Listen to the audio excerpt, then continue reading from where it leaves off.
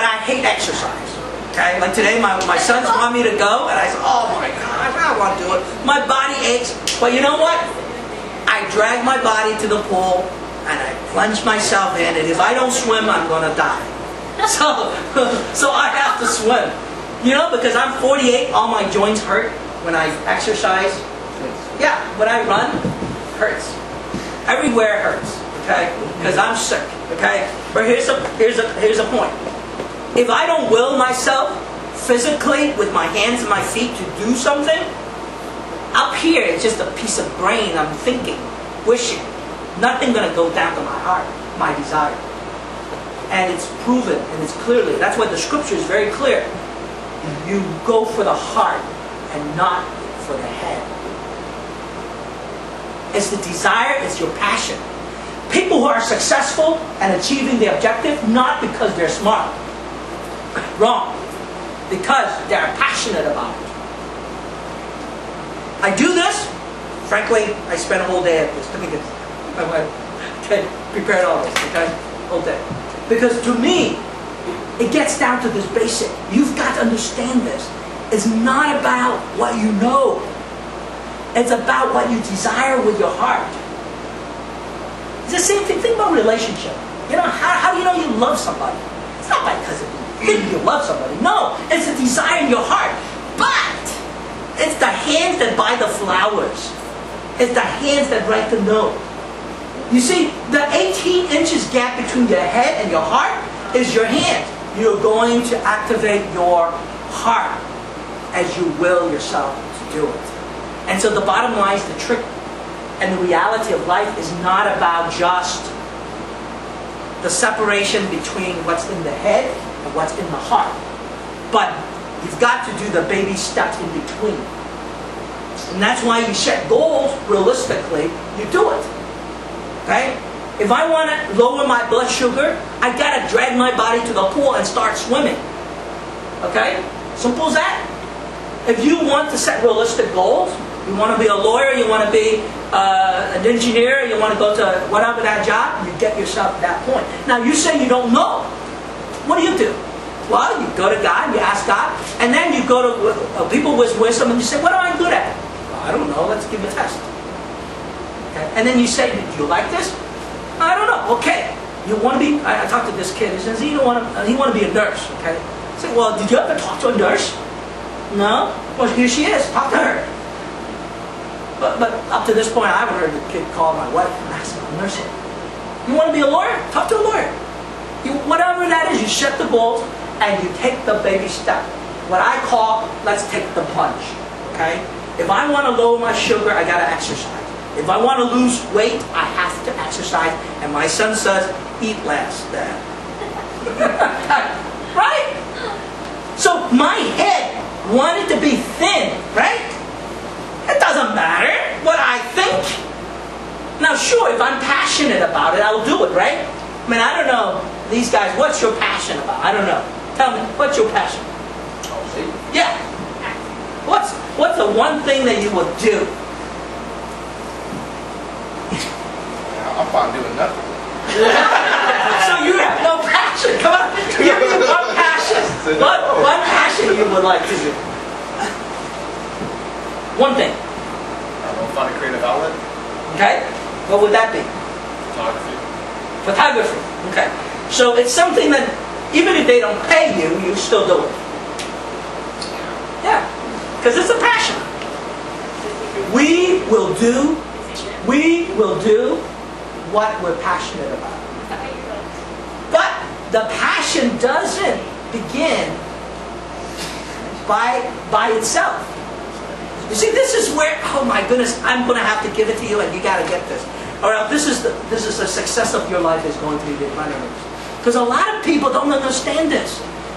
So they get stuck with their idea that in order for you to get passion, is that you got to think about it and you have to dream about it. Wrong. The passion comes between your head and your heart is through your hands, your feet. You do it. But you don't have to do some bigger thing. Do the little things. You start out with a little stuff with the photography, and then you build it up.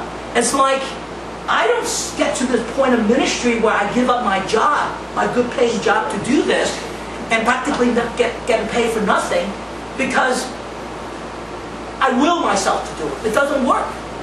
It doesn't work. You have to be passionate about it. And how? You start with little stuff and you do it. So the answer between your head and your heart, 18 inch gap here, is doing it. Okay? I see David does it all the time. Can I share with them on this?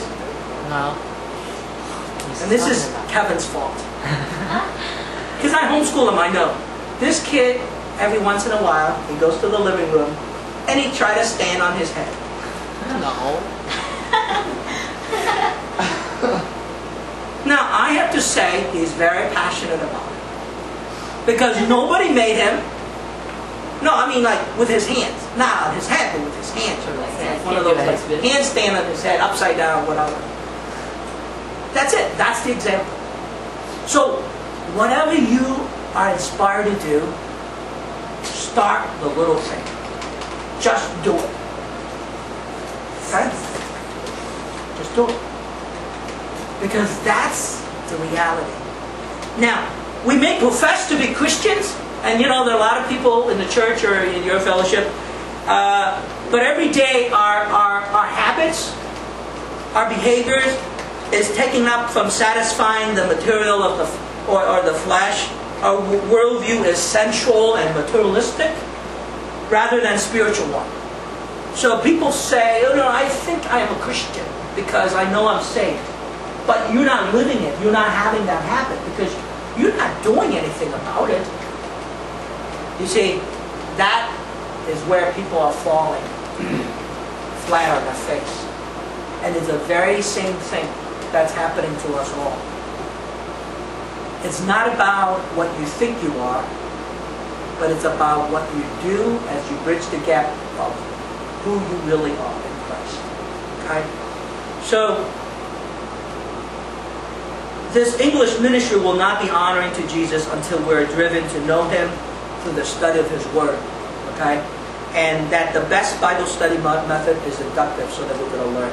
But just if you're going to walk away from any practical thing that I would share with you today, think about that five things of how to set goals and make decisions. One, set realistic, attainable goals as you learn to know about God and God know about yourself and your gifts.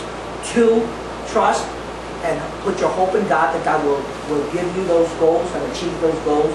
Three, dream beyond the impossible, meaning dream bigger than what before you. Okay? And then whatever happens, you rest in God's providence and accept that God has a better plan for you. And if need be, you make the change of your goals. Do not curse God, and do not think that it's the end of the world. It's just the beginning. So those are the five things that you can walk away. But in all these things, knowing that it's the Bible that you need to study, that's how you know God.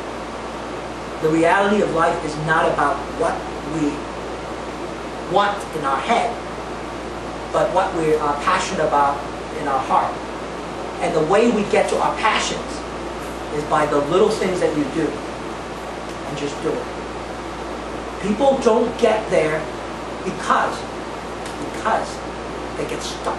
Nobody sat down like tonight and say, Kevin, you want to go there? Take the little baby step. I speak to myself, look, you want to lose weight? Get in the pool. Okay? You want to get a job? Go apply. Okay? You want a girlfriend? Keep asking. okay? You want a boyfriend? Make yourself available. Okay? Simple as that. I don't know how easy it can get. It's the same thing. I get back to the same five things. You want her? Does she want you? Can you afford her? Will they let you? And you together? It's so easy. And so I'm getting it to- down to you five things that you can move forward. And you can actually apply in every single thing in life. Because this truth is God's truth. It's in here. It's in here. Okay? I might not give you all the scripture verses, but this is real life. So let me bless you, and then going to have a good time. God, I thank you for uh, moving in the midst of us tonight. I know it's tough. but I trust that your spirit will work through uh, this truth